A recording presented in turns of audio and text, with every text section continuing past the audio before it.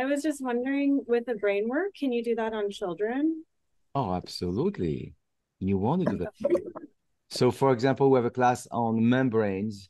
You know, you need to have brain one first, but mm-hmm. you have all the problem of lack of oxygen, creating cerebral palsy, for example. The membrane are really, really tight. All the infection, all the trauma. And what happened with the brain is very beautiful. The brain is often a bit torque going to the um, uterus. And when you bring it back in alignment, brain and spinal cord is going to release the tension on the cranial nerve and spinal nerves. You're going to see the baby that's like, uh, and boom, you're going to, they're going to look at you. They're going to come present.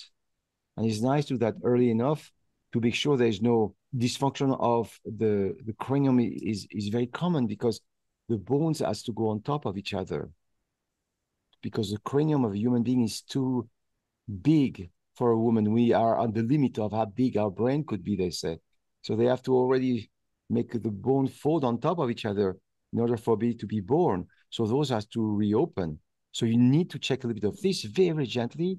And then, you know, with the brain, with the bones, the membrane, three compartment of fluid, gray matter, white matter.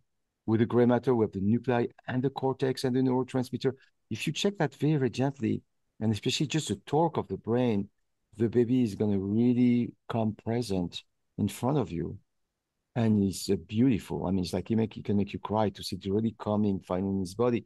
And not, if you check that very gently, and especially just the torque of the brain, the baby is going to really come present in front of you and it's uh, beautiful. I mean, it's like it, make, can make you cry to see it really coming, finding his body, and not floating, fl- floating energetically around the room, you know. And the baby's present, his brain is working. He's not going to have problem at school. Something very, very important to do, gently, gently. So you check the bone, the membrane, the brain, gray matter, white matter. You have a few things to check that are really important. It doesn't take much, and it's absolutely essential to give them a very good start in life you know what they say has the twig is bent they're going to grow with that uh, bent twig and you want to bring that very very much in balance in symmetry and they're going to have a great cognition. And they're not going to be fuzzy irritated. To have a bunch of dysfunction or pathology also that come for you know having those nerve impinging some uh, cranial nerve for example. 9 10 and 11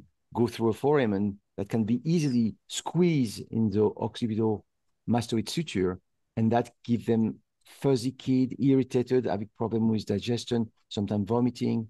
So there's a lot of pathology that can be created by these uh, dysfunction of the cranium, cranium membrane and the brain.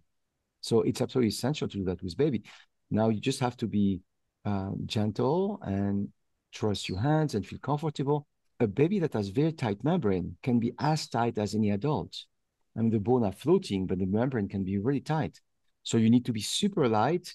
And then if you need a little bit heavier, a little bit heavier, you have to slowly get experience to be able to feel comfortable applying more pressure. It's absolutely a good class for baby and for children. Then there's another class that you want to do when they are a bit older, the next class.